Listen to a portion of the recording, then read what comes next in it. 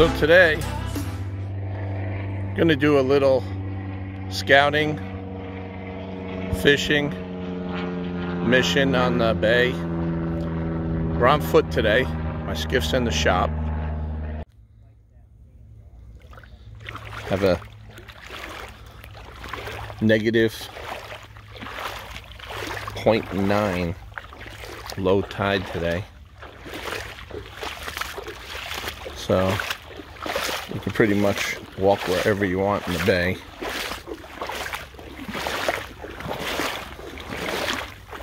It's normally about two feet deep where I'm standing. And today it's barely over my ankles.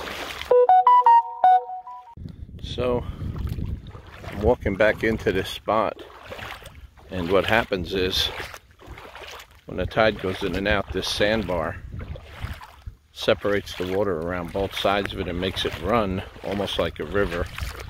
And the fish will lay in that ambushing any bait fish that wash in. But today we got a pretty strong wind coming out of the east. And this tide should have been turned by now to incoming.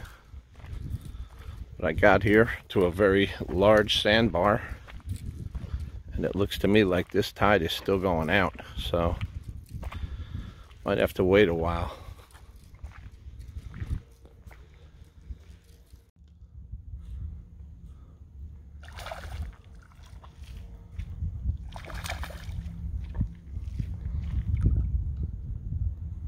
Not much more than a puddle here but there's some small snook in it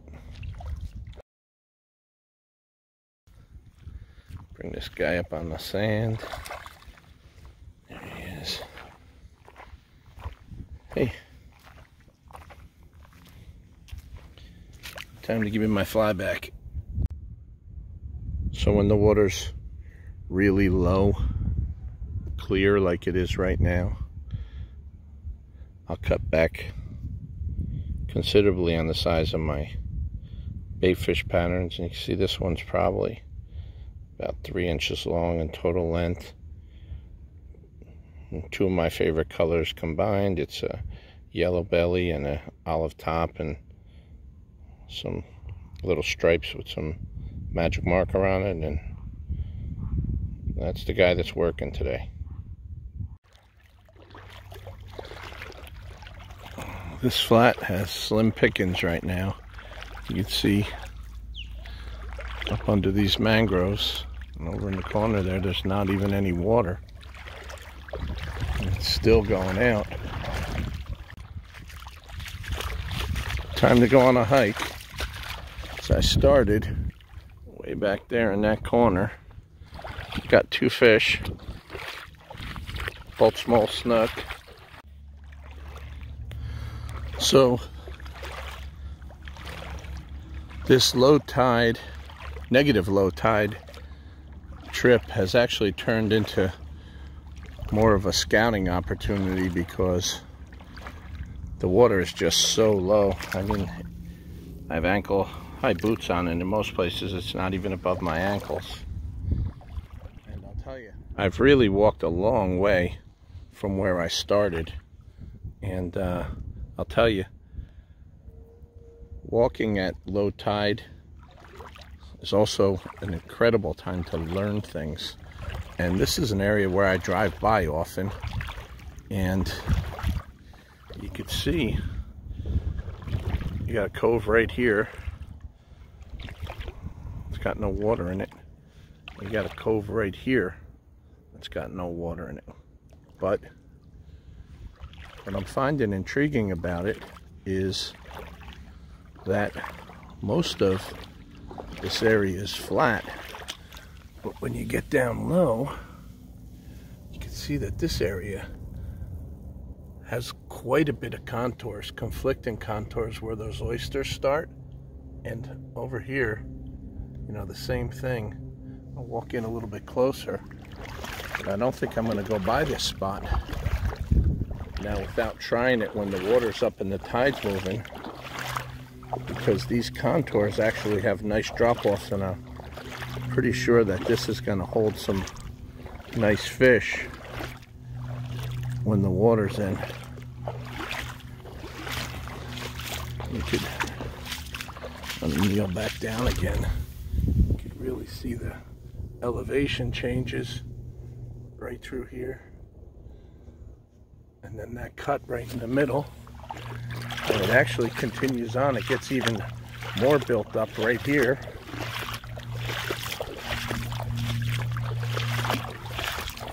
And kind of have the same scenario where these fish would have some huge area. Look how far they can push back up under there. So Put this on my list for scouting at high tide. Now this right here, this is another spot. That's exactly what you look for. And I know that this spot's one to fish because I just pushed about a 25 inch snook out of here that was laying in about six inches of water. Just sunning himself in the mud. But what I really like about this spot is there's a lot of oysters. There's good contours. But the thing that intrigues me the most is that this water right here coming out still has current and it's flowing towards me. You can see it right. It's real gentle but that indicates that there'd be a much stronger tide or current coming out of here when the water's higher. And you can see how the current's coming towards me and how extensive this cut is. You can even, looking back up in there, see a nice channel coming out. So this is definitely a travel route. It's big, wide. another area that is very close to where I usually fish with my clients every day but it's not on my regular uh, stop list of places to try so I'll come back a couple times now and fish it at different stages of the tide and see what it's got I've been picking out some spots that I think are great, but without something to compare it to, you know, you might not see the difference between what makes a good spot and a bad spot. So this little cove here, it doesn't really look entirely different from some of the spots that I consider to be really, really good.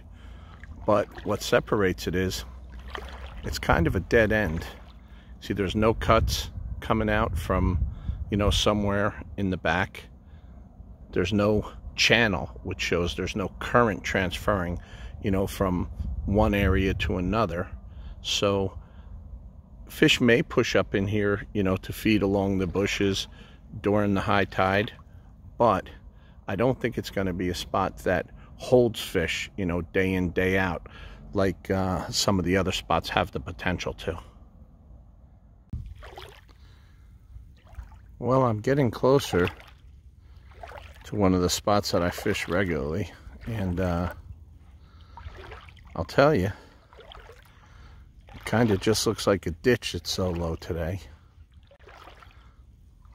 There's a little bit of a drop off out in front of it, and I could see some mullet just cruising around. Also saw a couple of small bait fish popping, but uh, with these conditions, I don't expect much here. I do believe there's fish in here. I don't know if it's going to come up on the camera, but you can see where the water really transfers pretty strongly from the ponds on the back of here, you know, right out this opening and because of that that current constantly cuts a little bit deeper channel right here so it always has potential to hold fish. We'll give it a try and see what happens. So fishing in this spot really didn't produce any strike, but I had a fish blow out when my fly line landed on that point. This is that little bit deeper spot. You can look here how shallow it is. You can see it drops off right in here. There's a little bit of structure, a couple bunches of weeds, but that definitely drops off to just a little channel that's about thigh deep. And when I walked in after I fished it, I kicked two redfish out. And I was hoping that I would be able to walk all the way in, but whoa, I'm starting to go up to up to my knees in muck, so that's not to happen. So I'm to try to turn back before, well, scouting any further isn't to work out. There's where I went deep and that's how deep it was. Pretty nasty. Lesson learned. Come here with the skiff and stay out 50 or 60 feet. Don't walk around in here. Well, it's taken me about an hour and a half, two hours maybe by now. Right, walk this Take it in this section of the bay. This is actually the furthest I've uh, ever walked from where I um, put my truck, parked my truck, and uh, I think I'm going to head back. Pressing my luck this tide's going to turn. And uh, every day this week when it has turned it's come in really really fast. So the other thing is I'm getting to a point right here where I fish on a regular basis that next point right there is actually a spot that I fish with my clients every day. So this cove and from this little mangrove key right here out this is a spot that I work over on a regular basis. So I don't need to scout this any further.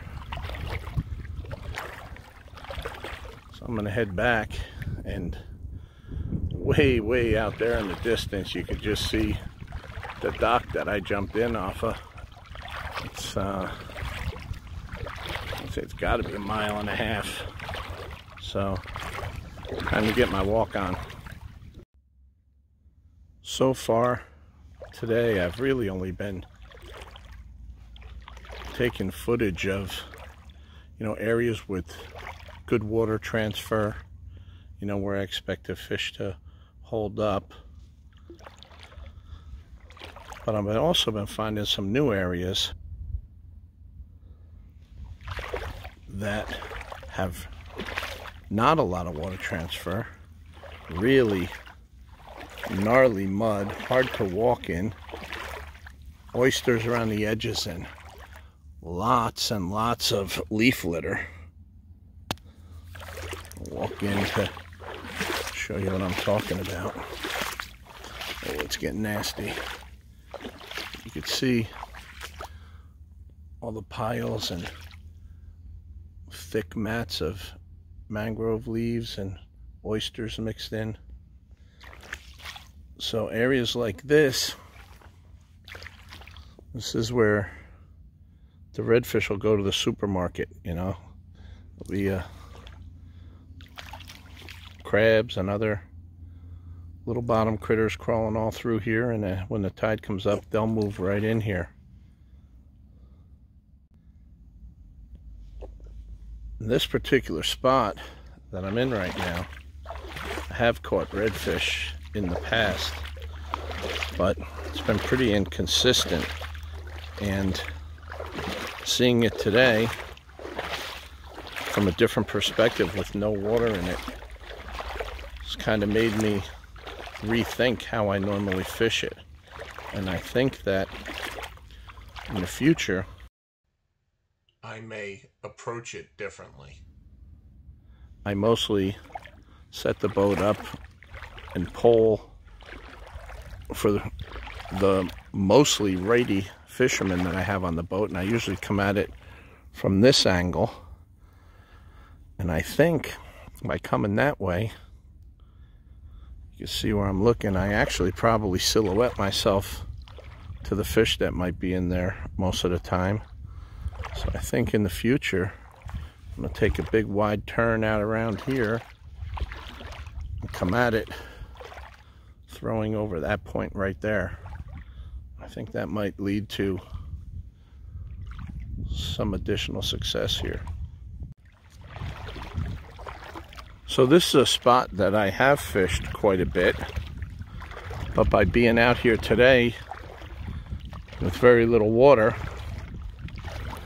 it's given me a completely different perspective on it because what I did not know in the past was that I'm gonna have to bend down here. This is actually a little island. And when I get down real low here, you can see it goes right back out to the bay on the other side, which I did not know that that was a feature that existed here. But now what that tells me is that it'll be a really, really good spot for snook. And what'll happen is when the tide is outbound, they'll lay up right on this side, waiting for anything that pushes through that opening and back out to here. And then on the incoming tide, they could stage up on the opposite end of this where it comes back out into the bay and uh, have the same situation. You know, they're always going to be facing into the current and uh, whenever they can let food come to them, they're going to do that. That's the easy way to eat. I just had to take a walk back in here because this is a spot that I regularly pole into. When I do, it's usually about 12, 13 inches deep.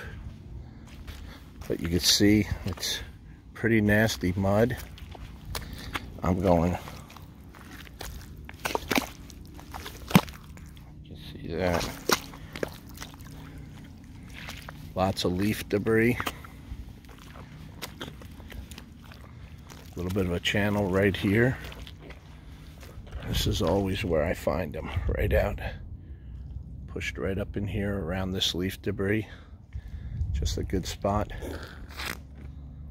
Oh, feet are getting stuck for them to come in and forage around.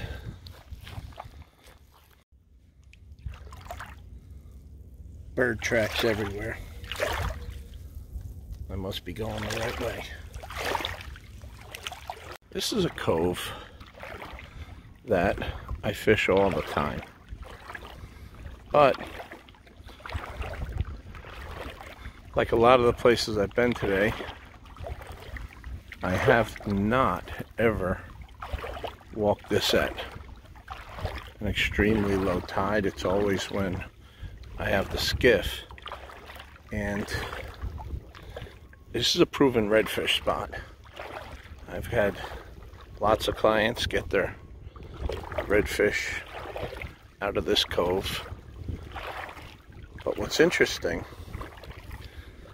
is that I'm seeing some things today that I normally can't see. What I never realized before is just how much contour change there is back in this corner. Now I know that where we get these fish is right on the edge of a drop-off. So I've walked further back in here now and I've been on relatively firm bottom but it's starting to transition into a lot more mud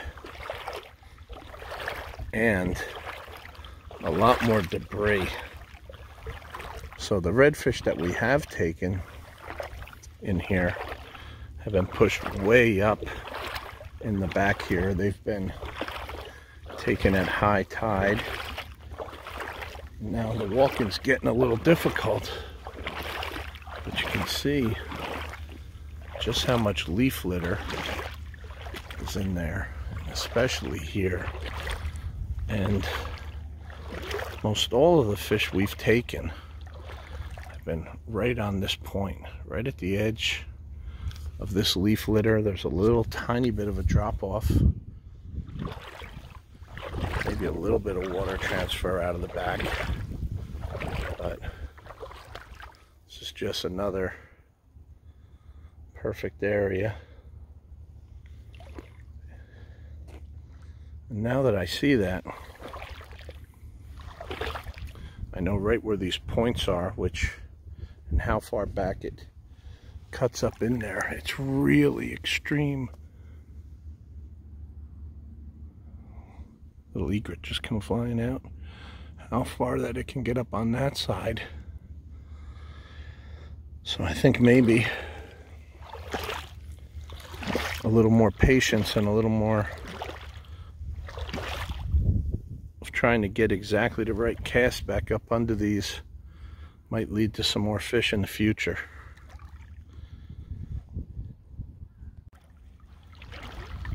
So now moved back, starting to walk out of that cove, one of my good spots. And from this perspective, I'm thinking that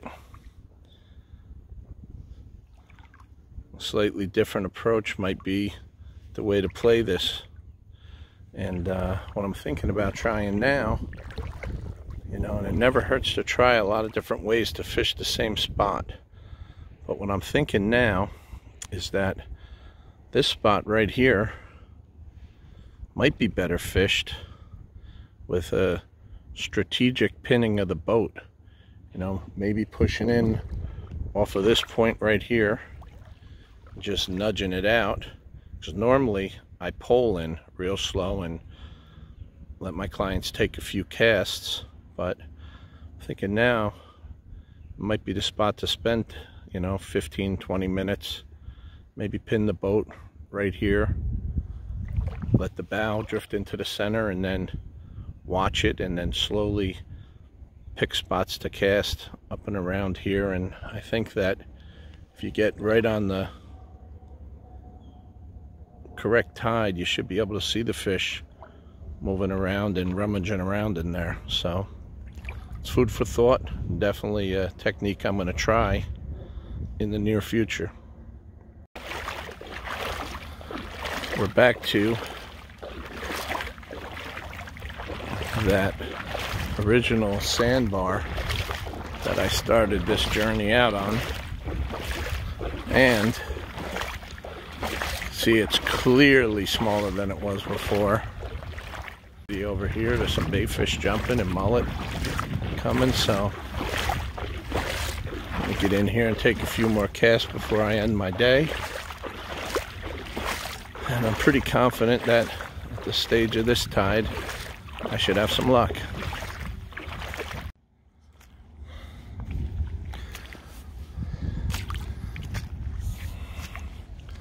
So this is one of my favorite places here. You can see, oh look at the size of all those fish coming out. That is, they're either giant mullet or there's a half a dozen real good snook moving out right here. So I'm going to turn the camera off and lay a cast in front of them. So, as I expected, it didn't take me very long to hook up a small snook and he's off. Well, I switched to a little bit heavier fly because the current's up and I'm onto a snook now that's got a little bit more size to him.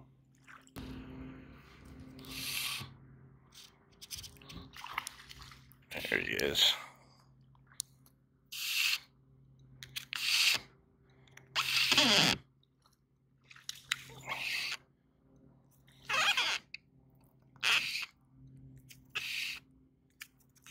Good uh, payoff for all the walking that I did, all the scouting. Just had another snook briefly come up and try to get that fly out of his mouth. All right. He's about done, so I'm going to pull down on him and walk him in here where he can't swim anymore. There you go. There's our guy. Not a bad one. He really ate that fly. There's what he ate. Let's get him back in. There you go, guy. Time to call it quits. I uh, wound up having a nice little run of fish in this one spot right here. And uh, just tried to muscle one out from under the bushes and he popped me off.